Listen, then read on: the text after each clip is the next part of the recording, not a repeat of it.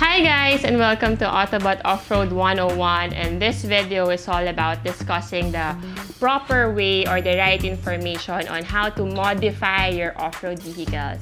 Uh, I'm Jan. Hi guys, I'm Randy. And I'm Ken. I'm Charles. Best Off-Road Accessory Shop. Congratulations to Autobot Autoworks Off-Road.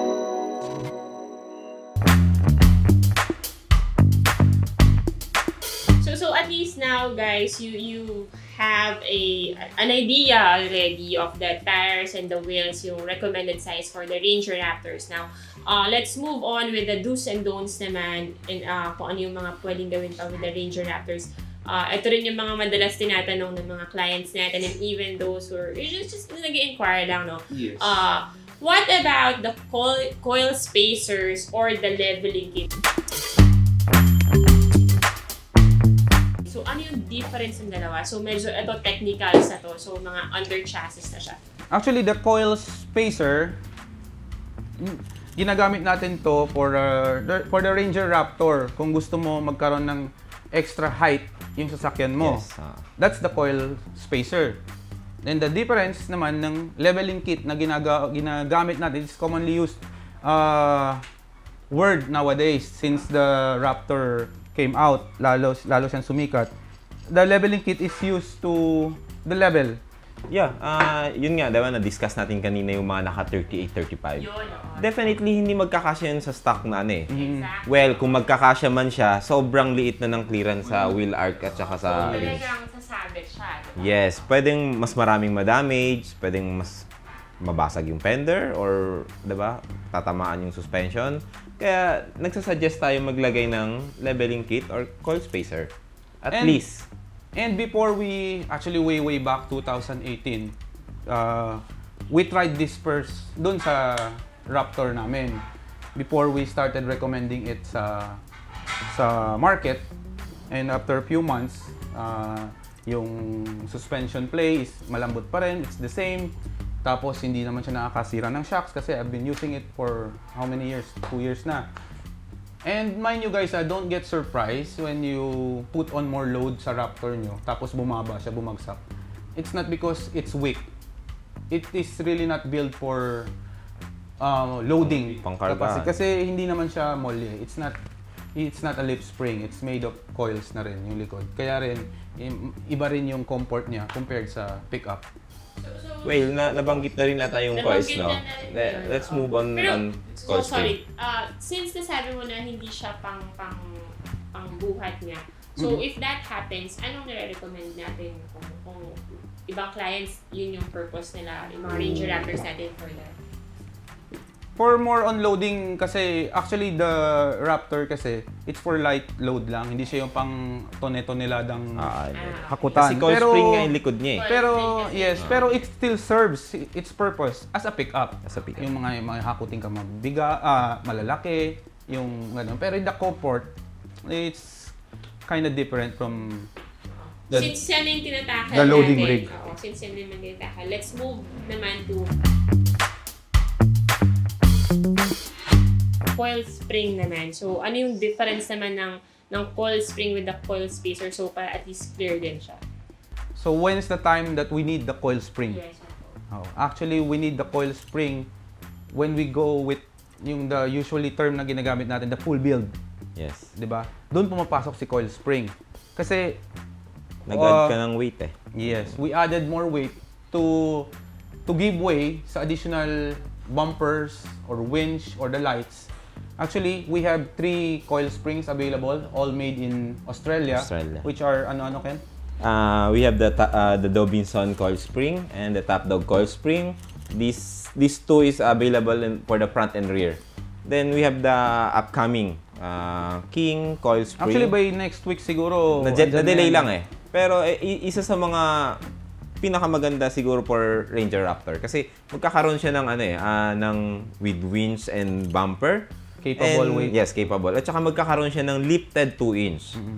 So maglilift talaga yung Ranger natin ng 2 inch. And what's good with this uh, three coil spring guys ah, is the specific load rating na kailangan ng bawat client. Yes, tama. For, for example, yung Raptor ko, naka-winch siya, tapos naka bumper, although my bumper is uh, medyo lightweight, Lightweight lang. Pero Pero, sa kinocompute mo kasi yun eh. Even the additional light, like kunwari naka-rigid ako ng radiance, so additional weight total na, weight yung pag-uusapan Oo, natin. para hindi nasa-sacrifice yung the comfort na binibigay na ni Raptor, the, the yung factory comfort. So guys, kahit pa sabihin natin na may mga coil spring na, may specifications pa rin talaga siya na dapat. Yes, ah, yes, pinakonsider. yes. Yes. Dito pumapasok kasi yung ah, technicalities and the ah, what do you call this? Yung knowledge ng isang shop na pinupuntahan mo. It doesn't have na andyan dyan lahat yung parts, the same parts Pwedeng na ko na kinakabit. yun. da- oh. Pero it's the complete mixture and the the knowledge nga na i-compute mo pagsama-samahin to get the best. Hindi lang yung magandang forma. It should come with the performance. So if I want and bigger shape. tires nga guys, parang kailangan naka-coil spring na ako. Ganun. Pag naka-bumper, naka-winch ka. Yes. Yes. Ulitin ko lang, we have the Top Dog, we have the Dobinsons, and we have the King. This is all made in Australia. Australia. Yes. Na coils and we guarantee the the performance is tsaka yung ride niya is Papakita natin na lang yung mga picture na nakabitan natin with the Yes. suspension.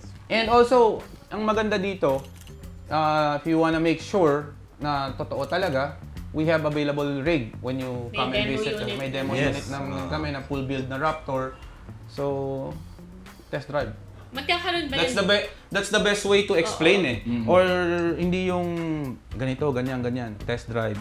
Sila mismo makakasagot kung ano yun. Sa ride, anong magiging ah, maninibago sa kanya? Meron ba? Or kailangan ba palitan din yung shocks kung pinalitan mo yung spring? Kasi maganda na yung shocks We ng strongly do not eh. recommend Oo. changing the shocks kasi Fox na yan eh and it's very it's expensive and it's a waste to change it but the perfect way is Saka to hindi naman to siguro ginawa-gawa lang na para hindi pinag-aralan na Yes. compatible with the suspension. So, Ah, mas gaganda yung ride. Kaya each brand may specific load. So kung uh, gaano kabigat yung bumper mo, yung wings mo, yung lights mo. So magre-recommend kami sa iyo kung ano yung perfect for you. So in in in relation with the coil springs, meron naman mga nagtatanong with the body lifts naman. Ito kasi yung mga difference, di ba? We have the coil spacers, the coil spring, and the Yes, body yes. lift. So so body lift kasi medyo complicated siya. So so what do we do uh, or what do we tell to our viewers kapag tinatanong, paano pag gusto ko body lift lang for my Ford Raptor? Is that even possible also?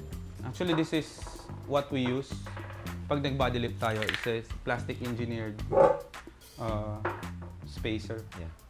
Uh, a little history, body lift kasi it's uh, commonly used in Australia where it is the off-road capital of the world. One of the safest way to get a higher or a taller rig is the drop kit mismo.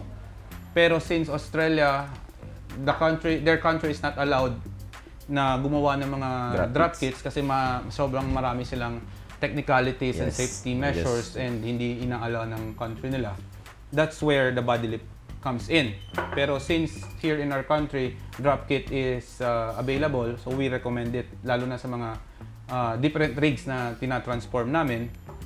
But with the Raptor, since nga uh, what we've said earlier, 'di ba? Ayaw natin palitan yung shocks kasi it's very expensive and it's a waste of money to change it, 'di ba? So this is where the body lift comes in. Body lift, nilalagay natin to between the chassis, Chassis and body. and, the body. So this is the uh, thickest or the tallest na nire-recommend namin kasi pag masyado ring mataas, it's not safe anymore kasi you will be separating the chassis and the body. Sobrang so, magkakaroon ng body roll, especially sa mga hairpin, sa mga curves. Lalo na rin kung pinapang everyday nyo siya, tapos uh, uh, mabilis yung takbo, so it's not that safe. Pag mas Mas- taller than this one. Mas But with mataas. this one, it's the safest way and hindi siya magkakaroon ng ah, mm, yung iniisip nyo baka bumaliktad or what. Kasi dito na kasi papasok yung wheel set natin na malalaki. The Yes. 20 by 12, negative 44, Tapos ah, 38. Tapos 38. So, it's... Kaya- kung may nakikita nyo, Yes. ah, papakita naman natin yung Yes, mga yung nagawa mga build na natin. ah, 38s and uh, yun, 37s. Actually, ah, may mga gustong gumawa ng Yeah. 40s pero, di ba? ah, soon siguro we'll be doing Siguro 40s pagka on a dumating na yung regear natin for the... the rig gear. Those, The that's one technicalities na naman that So, pero we we'll won't be that. Hindi, wala pa rin naman available for Oo. now eh. But those are those are the types of uh, you will consider when building mga sobrang laki na. But we will be discussing it in different uh, episode. Pakita ko lang din yung tornilyo na ginagamit natin. Ah, high tension na siya. So, pinapalitan natin. Safe siya. Hindi siya basta-basta nababali or napuputol. Kasi yun din ang commonly problem sa mga naka-body lip. Ginagamitan ng ordinary na bolts, nababali. Yes. And, uh, yung ganito, bakal yung ibang ginagamit Yes, ha. yes. So, Yung nagkakaroon ng sound. ingay. Yes, squeaking Oo. sound. So, ito perfectly cut siya eh. Oo. Pina-machine chop talaga natin para maayos yung cut. Pantay-pantay siya. Go to your trusted off-road shop. Yes. For safety, buhay yan, sarili nyo may sakay, minsan kasakay nyo pa yung anak nyo, pamilya nyo. So, Tsaka hindi naman Get the natin best. Mm-hmm. ginagawa kung hanggat hindi natin nasusubukan na yes, safe siya. yes, eh. yes. Okay. Mhm. So, so speaking of safety, uh, since medyo complicated si body lift, no, uh, isa ba to sa mga nire-recommend nyo? How safe is safe with body lift? Para at It's least safe they- they- as long as yung mga ganito ka Properly installed. not too much. Na, lagi naman tayong before the borderline eh. Ayaw natin mag-risk just to get the pogi points that we wanted. yes. Tapos magsa-sacrifice yung yun nga. Kasi di ba iba yung price ni body lift with the coil spacers and the, uh, with the Yes, coil but springs. this no? one actually pumapasok lang naman to when you want the 30. the monster builds. The monster 'Di ba? builds. Yung mga 38 natin. 'Di ba, Charles? 37. Hindi sasalita Charles. Eh. 37. Ito kasi si Charles, ano eh, ah, busy dun sa affordable niya. Uh, actually, we have a one, one more page, the affordable mugs and tires. It is handled by Charles. So, yung mga yung mga best deals. Kaya huwag kayong magtaka yung mga ibang build namin nakapost din doon eh. Mm, mm, mm, mm. It's under one umbrella. Yeah. I think na-discuss natin na yung mga Yes, kailangan. uh, no? one la- one last thing, no. Ito pa yung isa kasi minsan kung ayaw, parang ganito yung offset lang na gusto nila. Ang ginagawa nila is the wheel spacer. So, Ah, ano okay. naman yung wheel spacer, guys? Sa wheel spacer naman, no, hindi natin siya nire-recommend talaga. Pero may mga ibang customer, syempre, gusto nila base, lang. basic muna yung setup, parang ayaw mo nang palitan yung mugs and tires. And dyan Gusto pumapasok si ano eh, Tipid Mills. Yes, gusto mo nang pagsawaan yung mugs and tires nila. Ah. Hanggang later on, saka sila mag-upgrade ng wheels. Para lang makuha natin yung medyo perfect offset, tinatawag mo. Kasi positive offset nga Yes, yung wheels oo. ng, ano, eh, ng Raptor eh. Actually, this is pang pogi points na lang Pang talaga. pogi eh. points na lang. oo. Pero hindi points namin siya nire-recommend ah. Be sure, pag nagkabit kayo nito, medyo nakakabit ng maayos, tsaka time to time kailangan siya i-check eh. Kasi So, pwede siyang lumuwag eh, retighten. So, as, ito guys, no, um, kapag nag-wheel spacer ka, tapos gusto mo mag-trail, safe ba yun? Yeah, okay pa rin naman. Okay pa rin naman. Marami, Oo. na, marami naman nagtitrail na naka-wheel spacer eh. Pero, ang additional ano niya lang, kailangan mo lang siya i-check time to time. Proper maintenance. Proper Hindi siya yung yung High drive. maintenance, Yes, si ano, yes, yes.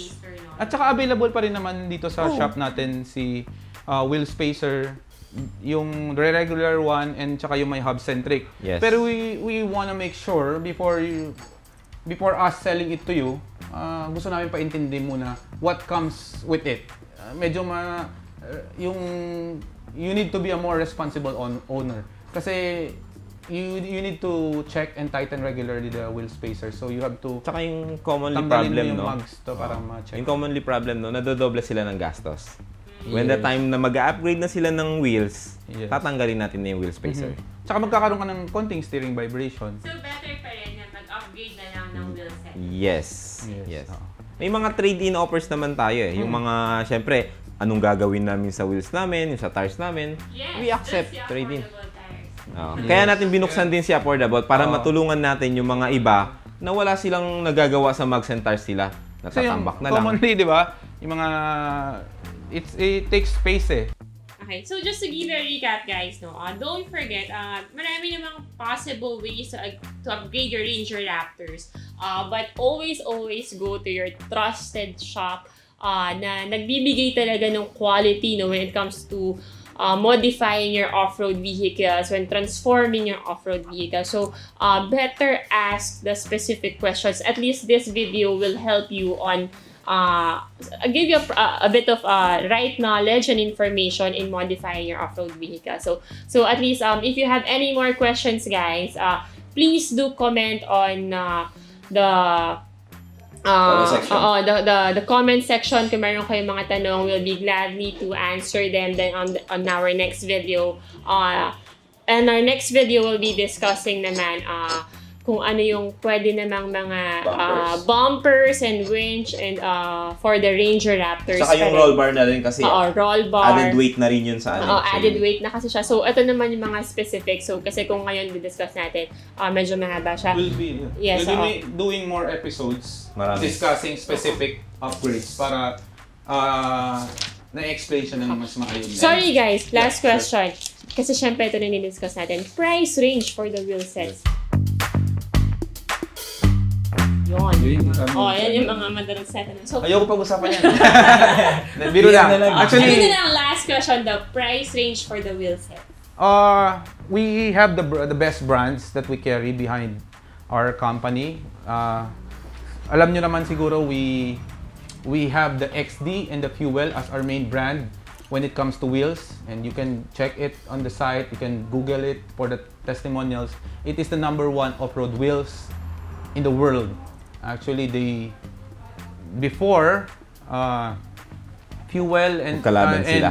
and XD KMC are mortal enemies. Not until last year. Kahit kami Nag-collab. nagkagulo, nagulat din. Kasi nagsama ang dalawang biggest com- wheel, off-road wheels company worldwide. Kaya ngayon, it is under our umbrella na. Uh, thank God, the Fuel and the XD. The Fuel, the 17 by 9's Fuel is how much? Ah, 50 50,000 SRP. I think 50,000 to 60,000 kasi some Yes. of the designs are no. 50,000 to 75,000 kasi Yes. we have the Covert, the Sapir. Aha. Yeah. Pero 80% of the design is at 50,000. 50,000. There are ko- konting-konti na mas mataas siya. And then the 20, ah, the 18s. The 18s.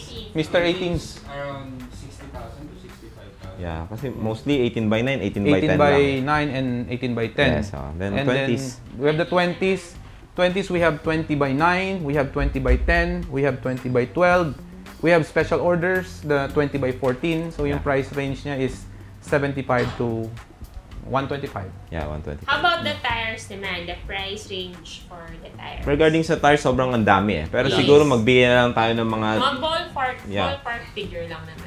Para sa 285 7017 kasi at saka 285 5520, nag-start ng 12,000 Okay. up to 40,000 Pero each. medyo high-end brand na to, no? Hindi, we carry what we recommend. Yes. Kung may gusto talaga si client, especially kung hindi na pumapasa sa tamang standard, basta pumasok na lang sa presyo pero hindi pasok sa atin, uh, we're sorry to say na we don't carry it. Kasi may nakik- nakikita naman siguro nyo guys yung may mga some accidents na nag-happen sa road, mga nabasag na wheels, Fake. sum biglang sumabog yung tires because of the low quality. So that's what we are avoiding and it's our company who's behind it, it's on the line. We don't want to be uh, da, ano yun? Dub about na, Yes. you know. Sa every build naman natin, safety first eh. Yun Yes, naman talaga yes. yung ano natin. So we we we mostly use the BFG tires, the Master- Fuel tires, Mastercraft. Mastercraft, USA, the Nito, the Cooper, Monsta, Australia, tapos AMP, Dick Sepek, yung mga yun. And uh, what ano Charles? Ika- Nicky ah, speaking, Thompson. speaking of ano, ah, Tapos isa sa Nito, mga favorite ko ah, yung Nito, Nito Ridge Mud. and Nito Mud. Nito Mud Grappler, yung Yes. na-meet natin yung nag-design mismo ng ano. Yes, actually. Yung sa Japan. Back in earlier Sa- this year, Nung on Tokyo Tokyo, Auto Salon. Salon, we Yes. met. I forgot his name, pero pakita na lang May, natin. hanapin ko we yung have a picture, pakita natin yes, yung yes, picture. we are so honored to. It's one. uh, Actually, it's my favorite tire, the Nito Mud Extreme. That's why both of my rigs is uh, uh, using Naka-Nito Mud. the Nito Mud. So, sobrang aggressive ganda. naman talaga nun eh. And I don't mind the little noise. Yes. Sa- Na-enjoy ko siya eh, parang nasa aeroplano. Sa, sa noise naman, sanayan naman yun eh. Mm. Oo. Tsaka ayaw ko talaga may kausap pag nag-drive. I think guys, okay na na pag-usapan natin na May lahat. gusto lang akong sabihin isa. uh, guys, we are not uh, we are not the experts, Yes, yes. but uh, we know a little and we keep on learning and uh, we guarantee this, I guarantee. When we build something, when we you let you trust us with your rig, we give you more than 100% of our services. And yun, uh, we are not experts, hindi kami magaling, hindi kami nagmamagaling. We are all the same, pero it's siguro yung enthusiasm namin and we are so happy when we finish one build at a time. Yun. Okay, so so thank you guys for staying uh, with us in this uh, on this video. Uh, but to, to let you know, no, uh, syempre we're in the middle of ECQ ngayon or MECQ. Uh, you're not wearing masks, but uh, rest assured that this room was properly disinfected. Uh, it was dito? sanitized. So, tas kami lang naman nandito. Only the videographer is here. Tapos kaming apat. And um, it's very, very safe. So, uh, don't worry about that. Uh, you know, we want to let you know na even though that we're doing this video, uh, we're still uh, making sure na lahat ng measures were properly met. Okay, so thank you guys. Uh, don't forget to hit the subscribe button below and uh, turn on the notification bell para at least pag updates. updates. Uh, don't forget to like our Facebook page and Instagram page, uh, Autobot Autoworks Off-Road for more quality built rigs the Autobot way. Ah, meron Hindi, tayo ah. kaming bagong page ngayon, guys. Ah, ako nag-manage nun. So, the Autobot Off-Road merchandise will be bringing out a new set of designs for the t-shirts, for the uh, polo shirts, And for masks. the caps, oh, and the masks. So, marami pang darating nun. Oh, the caps, uh, yes. sunglasses. Oo. Sunglasses Yes, talaga. even underwear. even underwear. De joke lang, joke So, lang. magkakaroon ka, ah, meron ng page. Don't forget to like that page also. Uh, what else? Ano ba? For the Then price. siguro yung mga important details, lagay natin na lang sa, impor- ah, sa description lahat. Yeah, so we will let you know. Uh, Marami pa naman susunod na mga segments and videos after this. So, thank you guys. Don't forget to subscribe, ah, okay? Thank you, thank you. See you Anything- again. God bless. Stay safe. Bye.